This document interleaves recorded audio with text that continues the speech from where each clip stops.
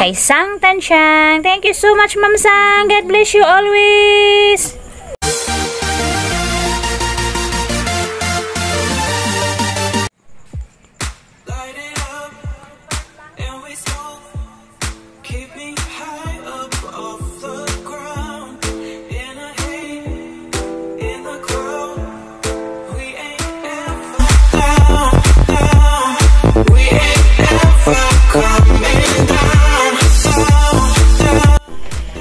Hello guys! Masaganang buhay!